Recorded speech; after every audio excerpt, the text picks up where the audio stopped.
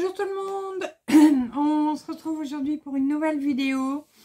Alors aujourd'hui ça va être un DIY Diamond Painting euh, que j'ai reçu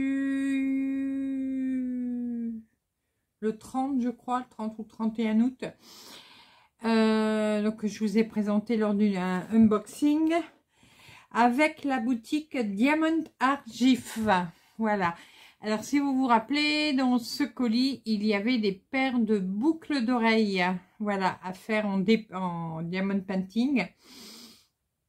Euh, bah, ça y est, je les ai faites. Ça a été très vite hein, euh, pour les faire, euh, puis agréable.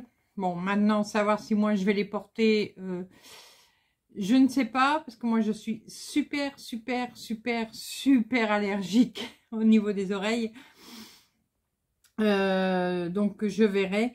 Euh, mais sinon, je vais donner à mes petits-enfants ou je verrai bien. Euh, bon, ce que je vais faire quand même, même si c'est pour eux, pour les protéger, les, attaches de boucles d'oreilles, je vais les vernir avant.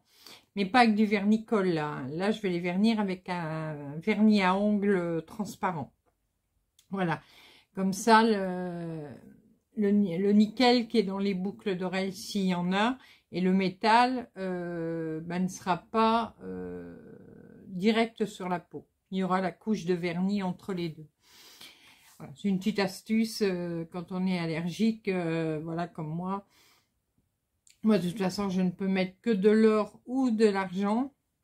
je peux mettre aussi du plaqué or, mais à condition que ce soit du très bon plaqué or. Euh, mais sinon, après, j'ai les oreilles chou-fleurs. Hein.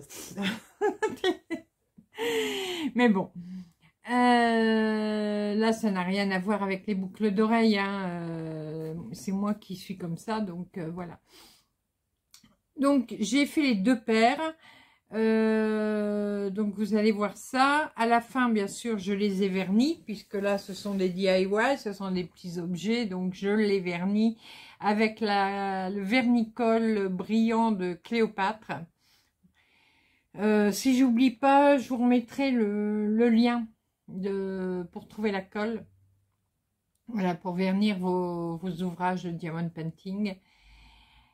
Et euh, qu'est-ce que je voulais dire d'autre? Alors, je les ai vernis, ça je vous l'ai dit. Ah, je voulais dire un autre truc, je ne sais plus. Bon, tant pis. Et donc, je vous ai remis des photos, bien sûr, à la fin pour vous montrer le résultat. Voilà. Le vernis, au niveau du séchage, en plus, bon, là, en ce moment, il fait chaud. Hein. Ça, a mis, ça a mis 24 heures.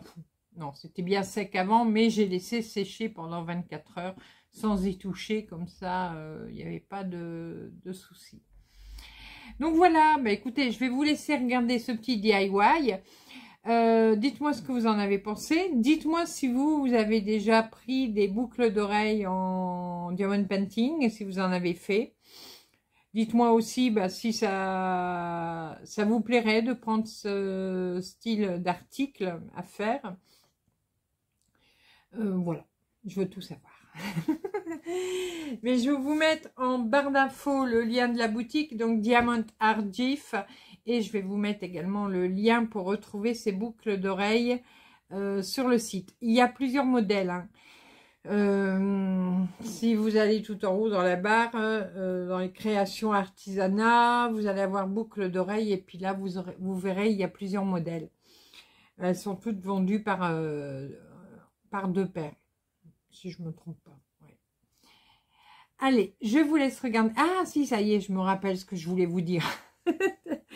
Euh, c'est qu'il restait beaucoup de strass. Voilà.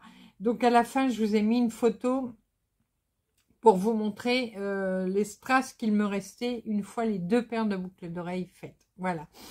Donc ils ont été généreux euh, en strass. Voilà. Allez, je vous laisse regarder. Nous, on se fait de gros bisous et on se retrouve très rapidement pour de nouvelles vidéos, nouvelles aventures et plein de belles choses comme d'habitude. À bientôt Bisous bisous